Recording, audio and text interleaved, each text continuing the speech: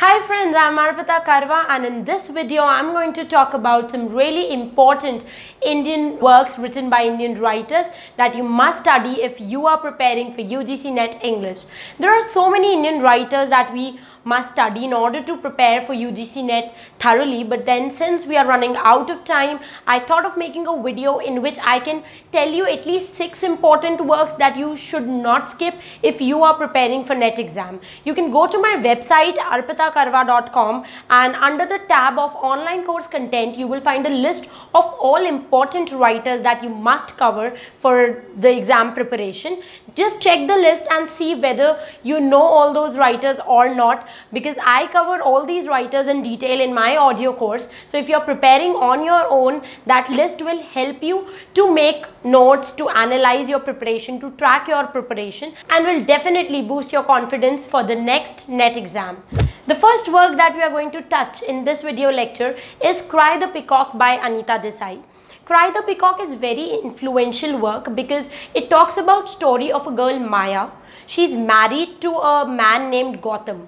Now the symbolic significance is very important because Maya represents the world of illusion whereas Gautam represents the world of detachment and both of them who have different aim in their life, who have totally different personality are married together. So you can very well imagine the outcome. It's a loveless marriage and both of them are not happy and you can see how this is totally connected to Shashi Deshpande's That Long Silence. So you can find that both the novels talks about the same theme.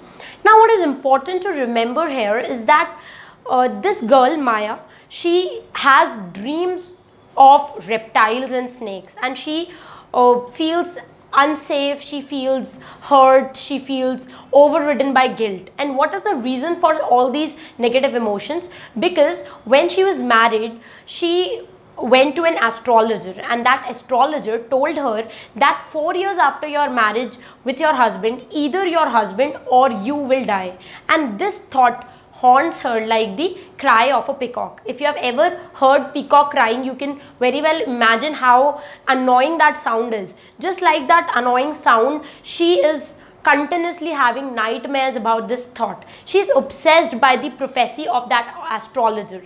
And this is uh, what forms the major theme or the major plot of this novel. The second writer that we are going to talk about is R.K. Narayan and you must read his work Man Eater of Malgudi. Man Eater of Malgudi has been inspired from Bhasmasura myth. If you have read Indian mythology, you must be aware of this demon called Bhasmasura who was given a boon by the gods that you can touch anybody and by the touch of your hand that person is going to burn and will be killed. So your touch is so significant and is so valuable that you touch a person and that person will turn into ashes. So later when we find that Bhasmasura started to involve himself into malpractices, Lord Vishnu tricked him and made him touch his own body. So Bhasmasura touched his own body and on the spot he died. So that was the myth of Bhasmasura and the same theme has been adopted by R.K. Narayan because the entire theme of this work is that evil is self-destructive. The story revolves around a printer called Nataraj and there is a demon-like tall man whose name is Vasu. Now Vasu comes to Malgudi and he starts to live above Nataraj's flat and Nataraj is very terrified and very frightened to see such a huge man because uh, Vasu is very very uh, strong and he, he brings uh, girls to his house and he involves himself into prostitution and all that stuff. So we find that later when Vasu threatens Nataraj by telling him that he is next going to kill the temple elephant named Kumar, Nataraj is terrified and Natraj finally thinks that he should go to police. He goes to the policeman and policeman says that unless and until Vasu doesn't do anything, he cannot help him. So Natraj is helpless. Next day when he goes to his flat, he finds that Vasu has died. And how did Vasu die? Vasu died by slapping a mosquito which was sitting on his face. So his body is so strong that he slapped his face in order to kill the mosquito and just by slapping his face he died. So that was the whole story of Mal uh, Eater of Malgudi, which talks about how evil is self-destructive.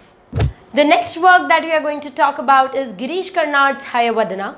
Girish Karnad's Hayavadana has been inspired from Katha Sarit Sagar and the plot has also been taken from Thomas Mann's transposed heads. So these are the two works which inspired Karnad to write Hayavadana. And the plot of Hayavadana is very simple. There are these two people.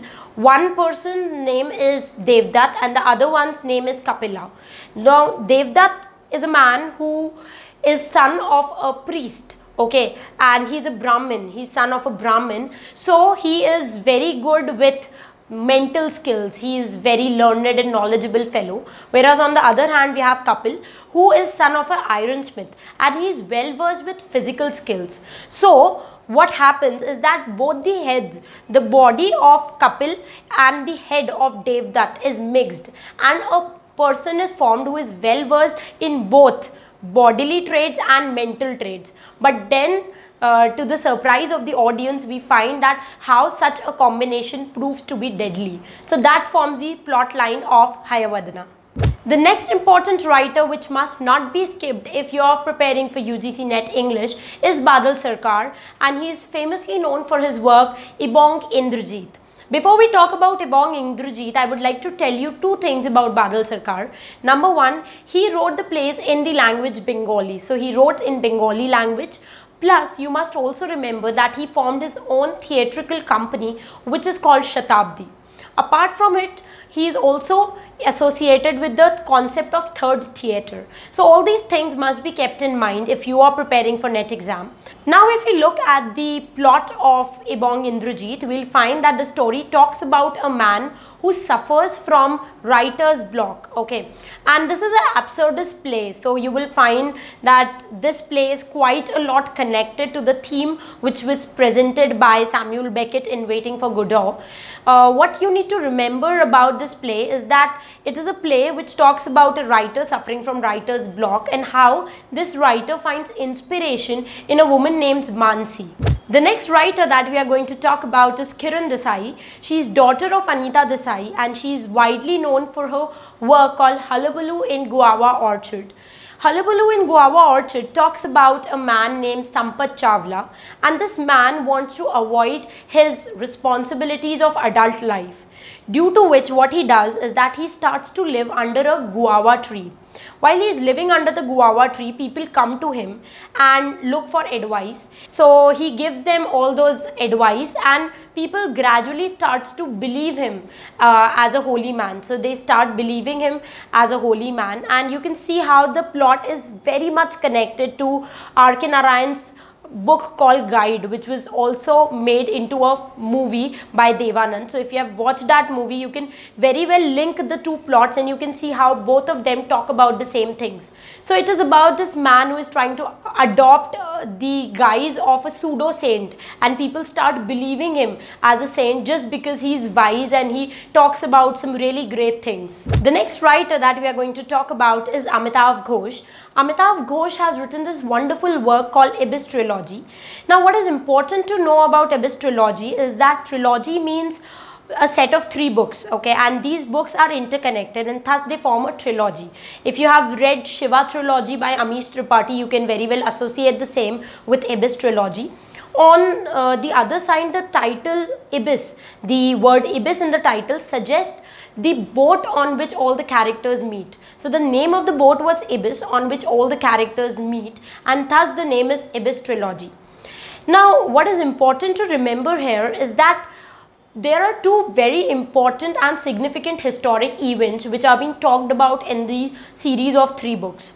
The events are number one, they talk about the opium trade which happened between India and China run by the East India Company. And number two, it talks about transport of labors.